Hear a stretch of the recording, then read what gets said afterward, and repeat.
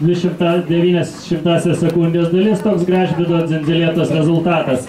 Na, o aikštėje matome paskutinę šios rungties dalyvę, Dovilė Žalnuriokinaitė ir Džirgelį Orgietka. Finišavus e, šiam raiteliui bus e, persirungimas, kur kliučių aukštis bus keliamas 10 cm pirmai grupiai.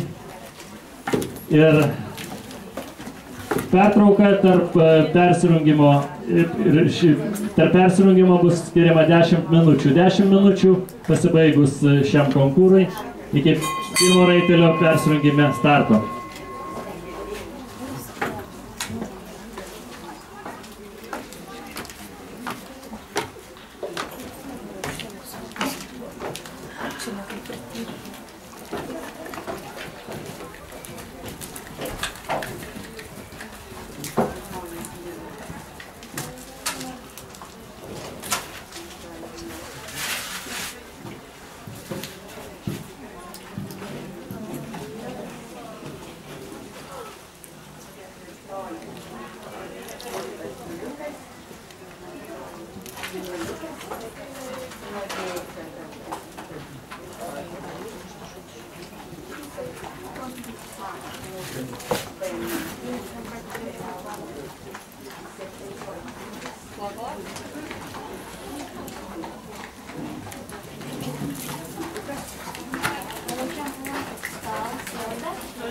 Смотрите, надо.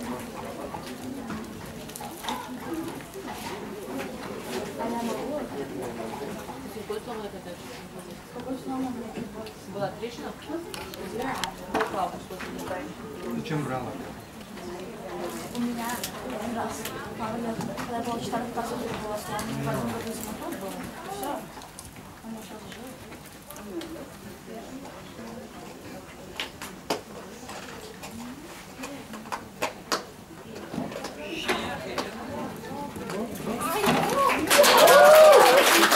Ketvirtasis dalyvis papuolė su persirungimą, tai Dovilė Žainių Rakinaitė ir Kumelaitė Vargėtka.